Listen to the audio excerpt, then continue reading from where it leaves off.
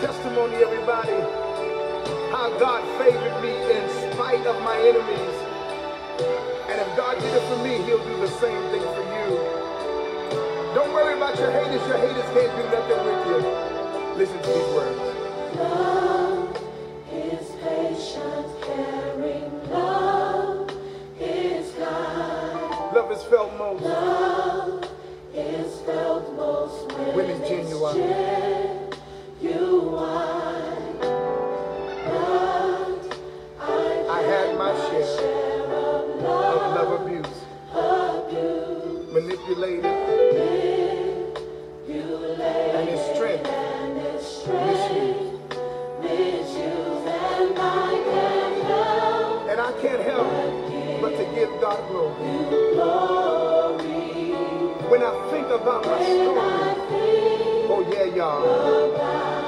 Story to tell. story, And I know and I know you favored me you favor me because because my enemies, my enemies did try, they did try, try but they couldn't triumph over me.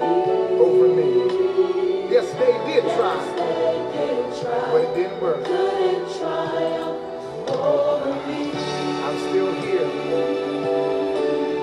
still alive. I'm still blessed. On my way to my destiny. Because the favor of God is on my life. Let me tell you about love.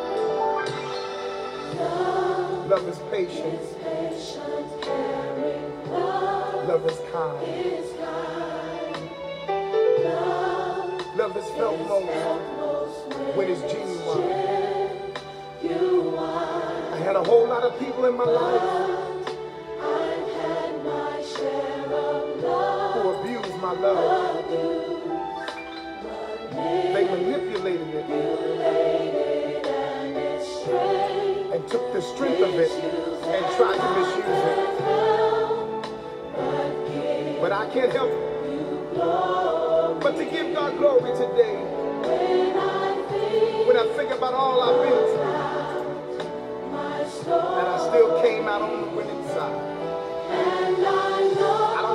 but I know that He favored me because my enemies, mm, they did try. Sing it, y'all. But they couldn't triumph over me because great is He that is in me than He that's in the world. That's what they did. That's what they did. they told They told a whole lot of lies, but God favored me. My character, My integrity, my integrity, my faith in God. He favors me, but it would not will fall, not fall, would not will bend, not bend, won't won't compromise. compromise. God favored. God favors me. I spoke I life speak life and and prosperity. prosperity. I even spoke health. speak health. God He favors me. me. They whisper, They whispered about me. They conspire, conspired against me. They told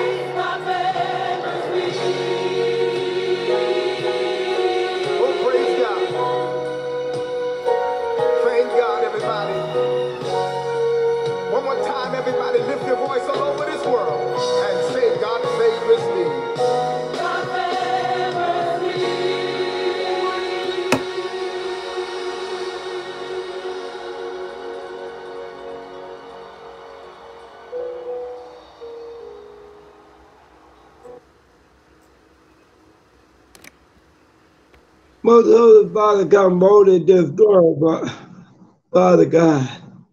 Father God, I'm here today to teach your word, Father God. It's not about me, it's about you, Father God.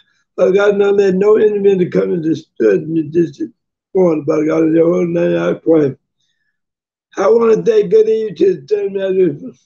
I'm here to do the word for today. I'm coming from Matthew 28, verse 9 and 10, 16 and 20. My topic for today is the Great Commission. Great Commission is the restoration of Jesus Christ to heed to disciples to spread the gospel to all nations. I'm going to read 9 and 10. And as they went to tell his disciples, behold, Jesus met them, said, All hail. And they came and held him by the feet and worship him. For Verse 10 then said Jesus unto them, Be not afraid.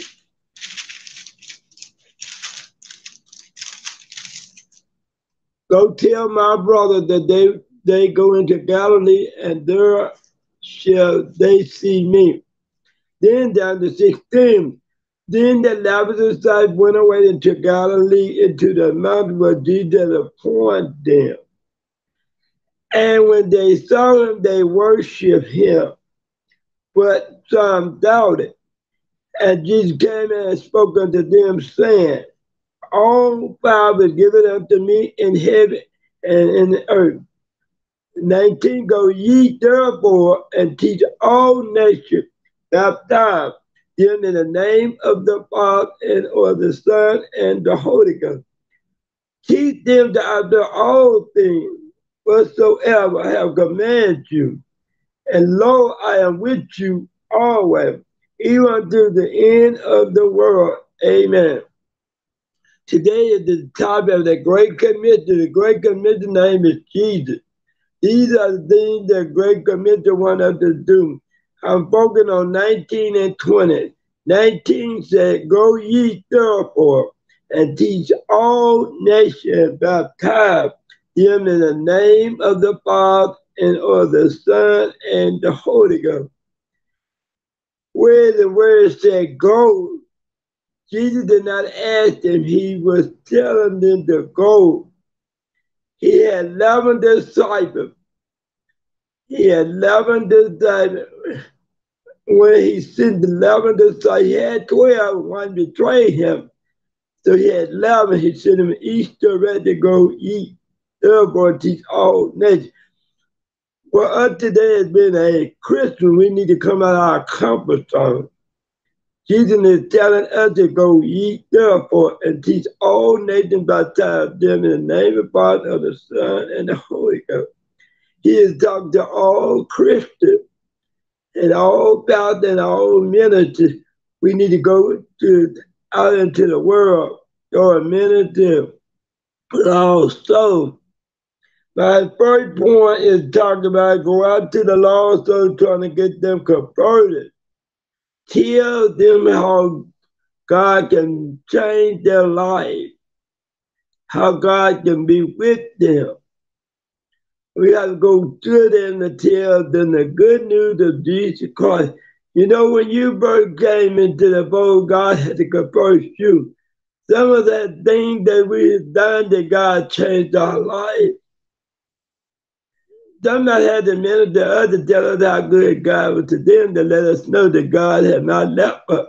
So that was God is telling us. We need to go therefore and talk to people. We got to come out of our comfort zone. God will protect us. We must go out to the world. Did you see what happened in the world today? We got people, young women, young men is killing. We even got people killing the kids now. When they shoot the friend they shooting the kids. But our Father trying to tell us something. It's time to come out our zone as Christian people. God is trying to tell us something. He's telling us we need to go out to the world. All of the nations, everybody need to get out of the zone, go to the people. We see people up and down the street some of them are lost. They really need Jesus. They are lost, some of them. We need to try to get them converted, show them the way, bring them on into the fold. Tell them about some church. Let them know that Jesus is still alive and well. Jesus is still with you. He has not left you. Let them know that God loves them.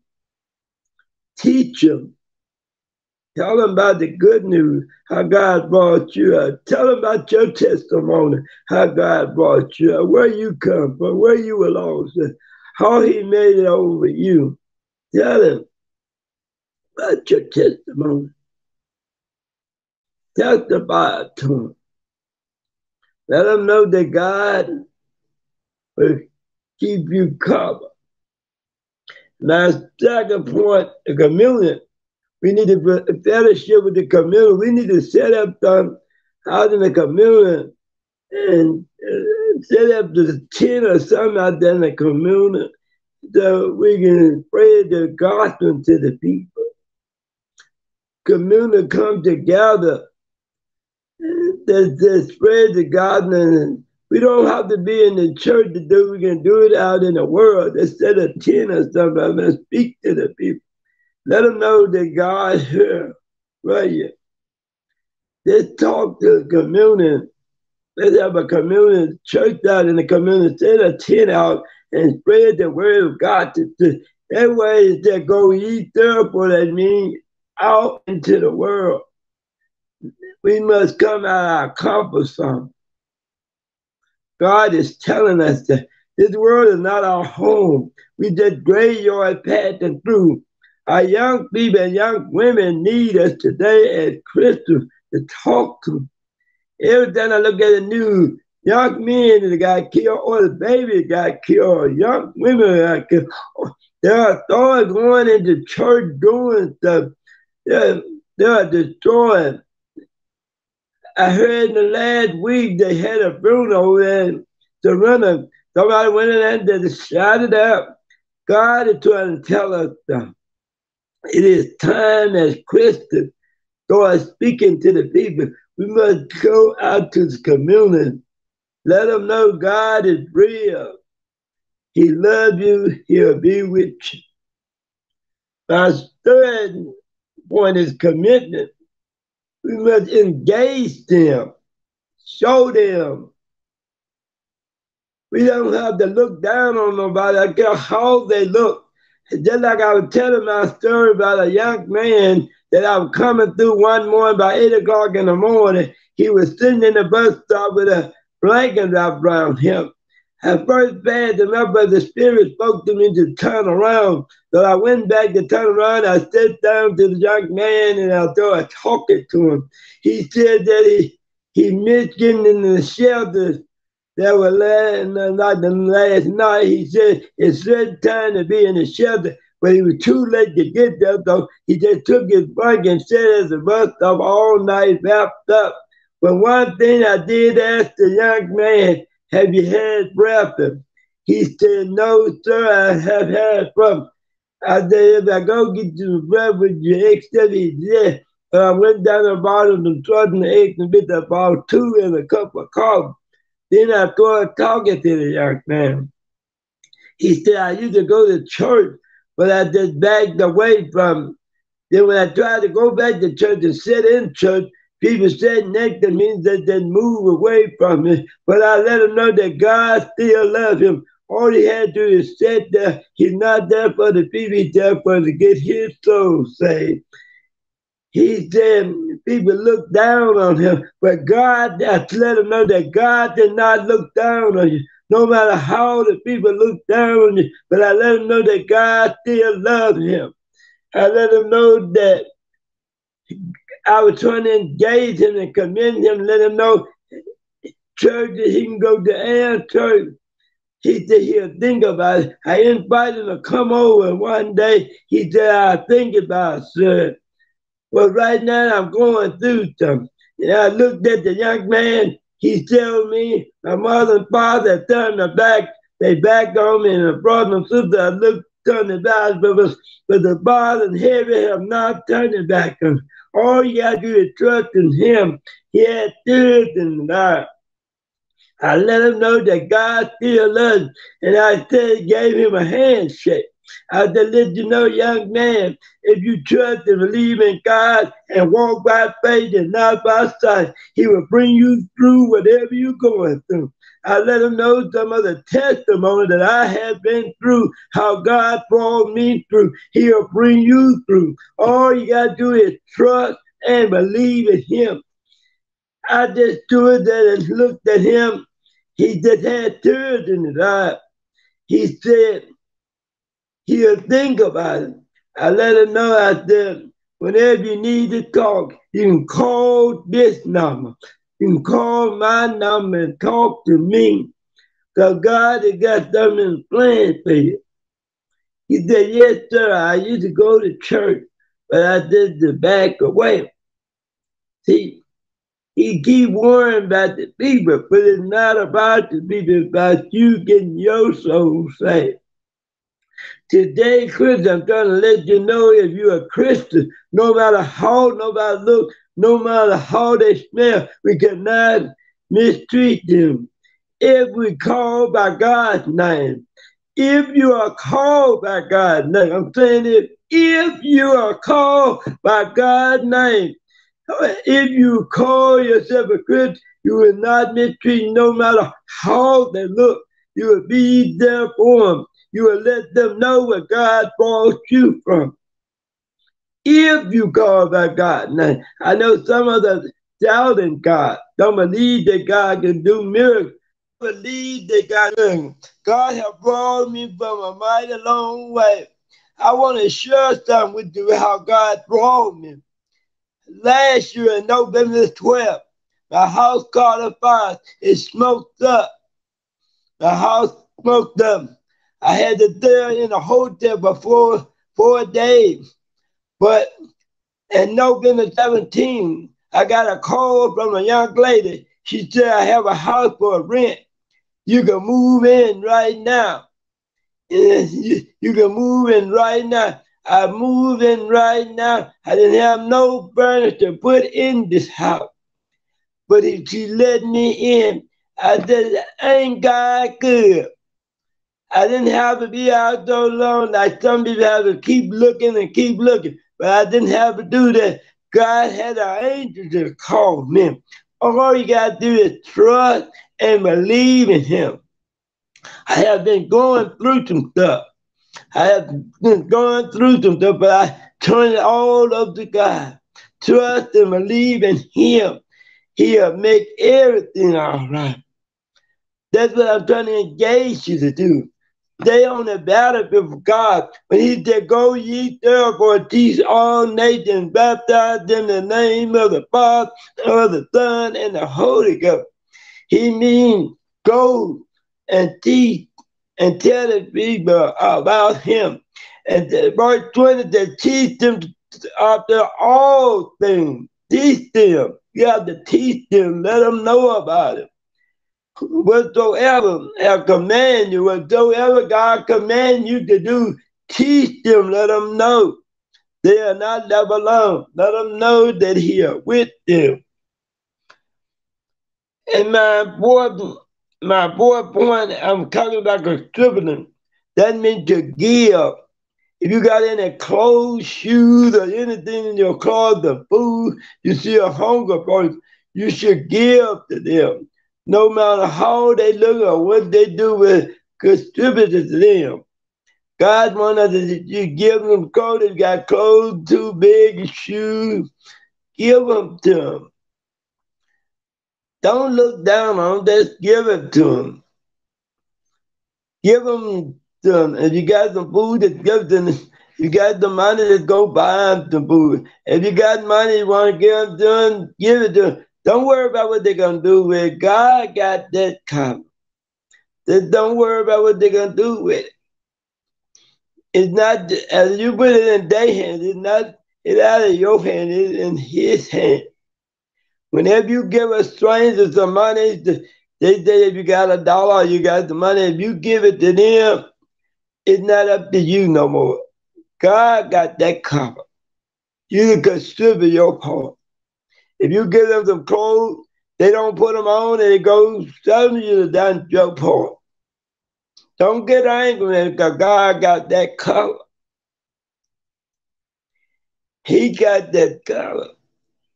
Whatever you do for them, God will bless you. Don't worry about it. You gave them the money, went in the liquor store and got some liquor. That's not your job. God got that. I had to tell a lady the other day, one of my good friends, I tell her one day. She got upset. Young lady asked for the money. She had to, she wanted to go get some things. Okay, she gave the young lady $20. But the young lady didn't go where she was going to get the thing. She went another day. She got upset. But I told her this. You gave the young lady twenty dollars. That out of your hand. You did what God wants you to do. It was between the young lady and God. You can don't get angry. Let God take care of that. God will fight your battle if you trust and believe in Him. I know things that said that when we give people done that, they ask us for something, they go do it another way. But we cannot get angry. We the done what the good committee called us to do, the great committee told us to do. He gave us our command to love our neighbor, to love one another. you know we got a lot of people that hate one another.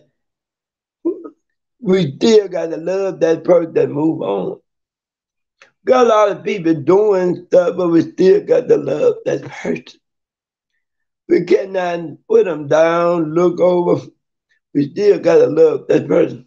I'm not saying, let me get this right, I'm not saying that you just give in on them, don't do anything to take advantage of you. This is not what I'm saying.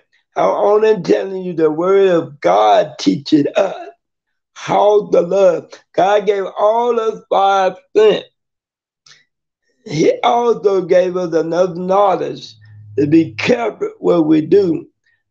God do not make no mistake. Don't go get things twisted.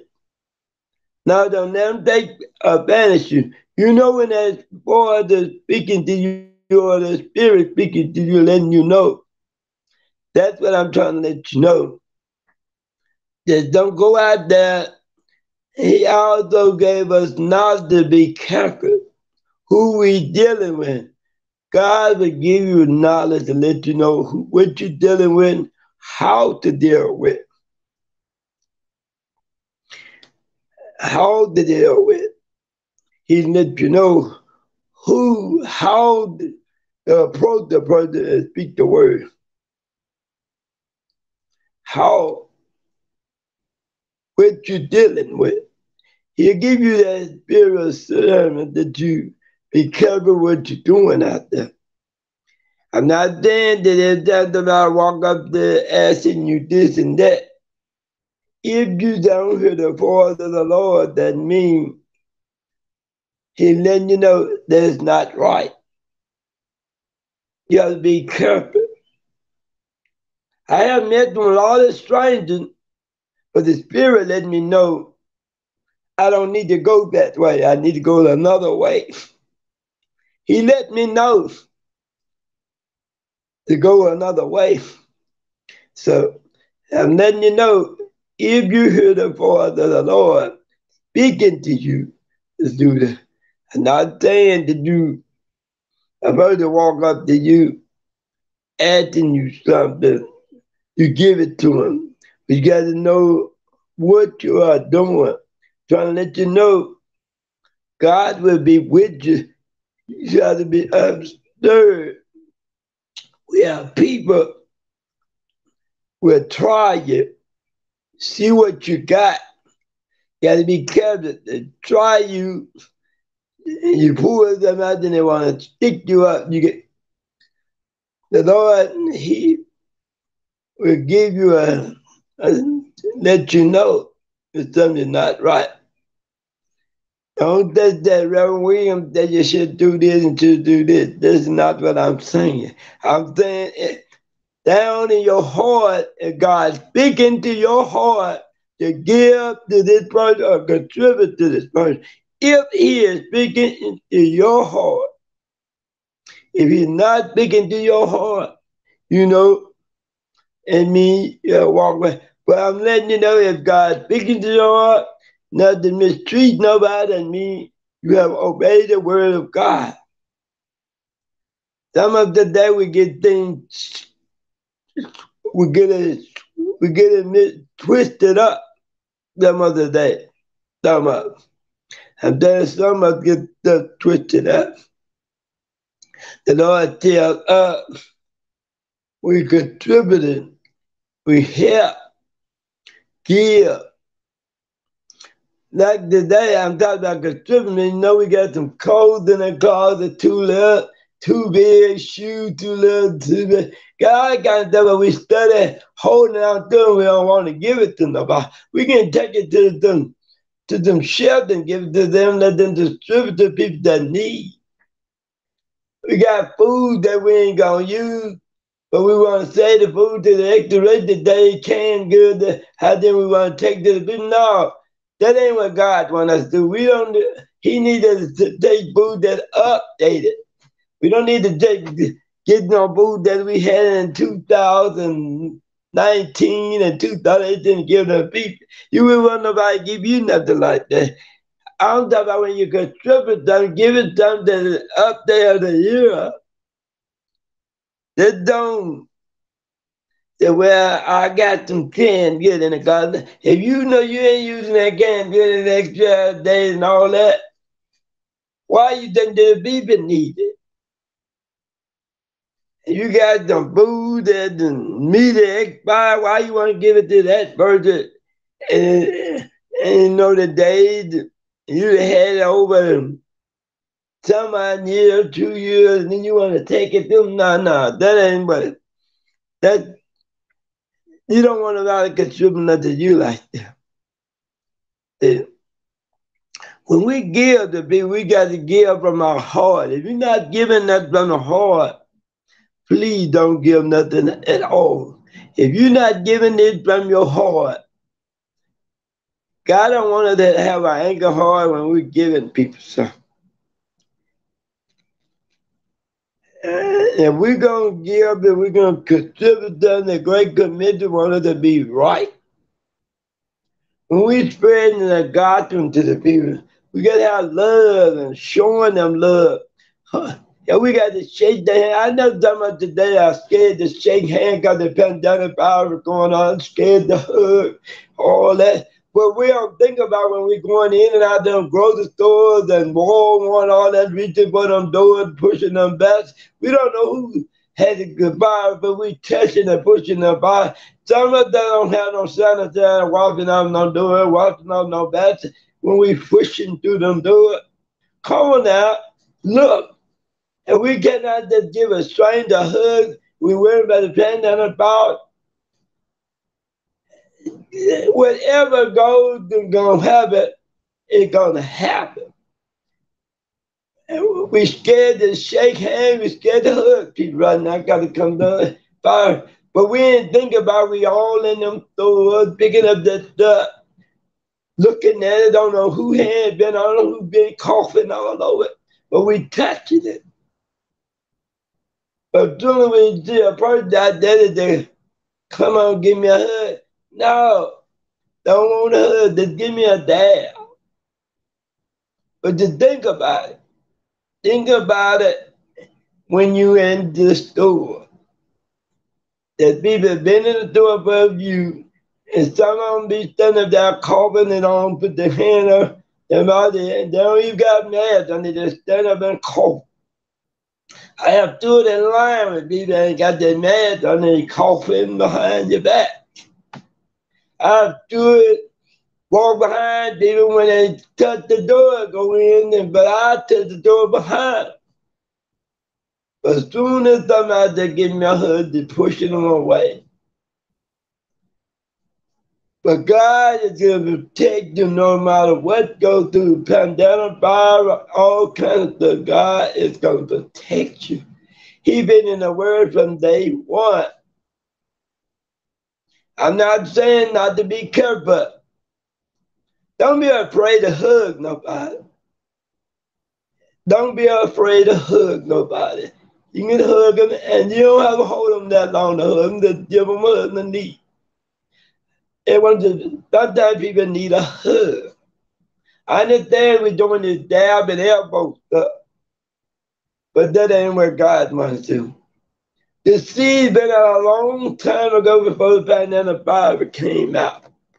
And people were still showing love.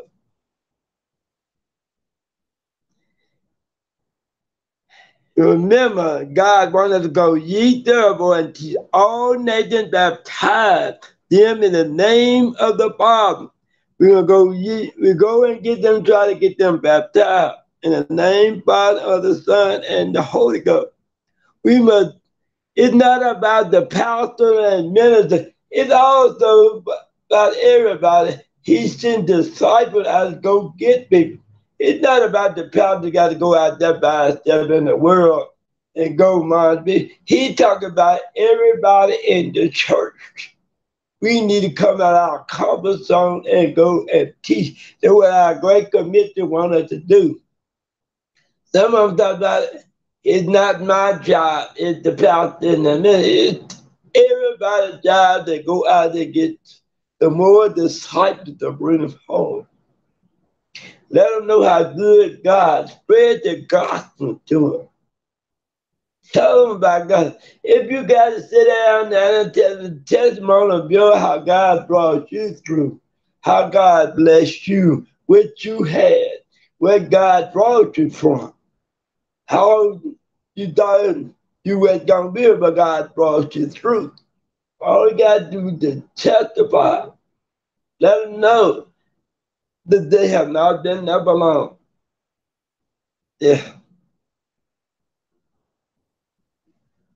Yeah, I know some are doubting. We some people are doubt Jesus. Some people don't believe in Jesus in the world today. When you're talking to them about Jesus, yes, first thing they say, Jesus, and then that's for me. And I'll do well, who woke you up this morning? Who started you on your way? You didn't do this by yourself. Who watched over you all night?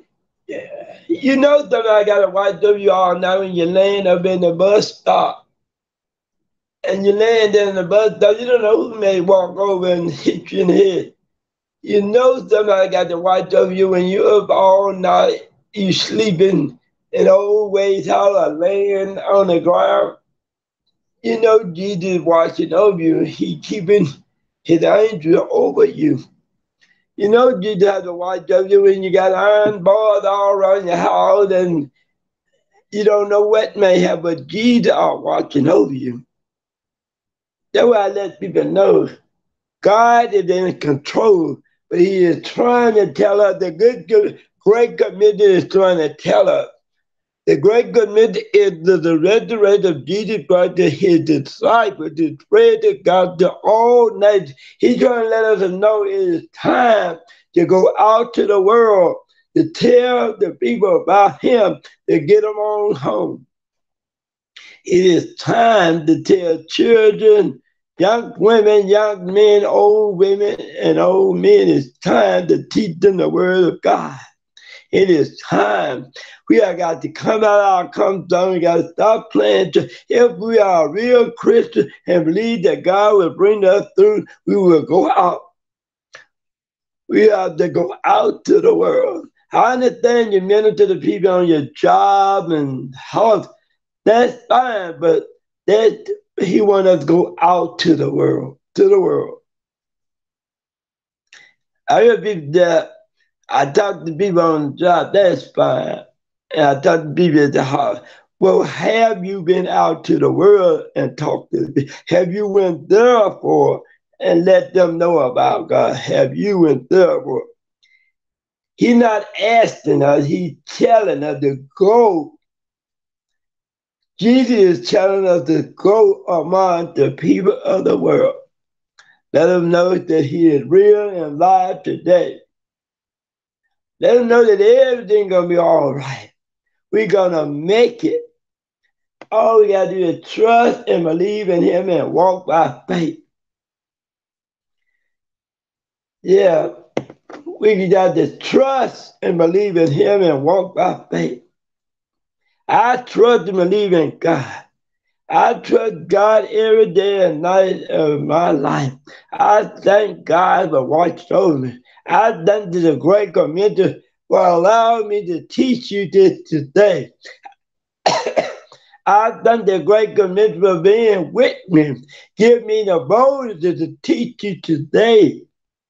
I thank the Great Commission for being with me and move all my fears out of my way to be able to teach to you today. I hate, I hope you get something out of this word today. I hope you get to understand what I'm talking about. It's not about me, it's about the Great Commission. I am calling on the Great Commission. I give all praise and reverence to the Great Commission. I want to say thank you. Thank you for being so good. I feel all right right now. I give it all to him. All I want to do, go ye there. But he's telling us all he wants to do is go ye there. Teach his word. Tell the people the good news.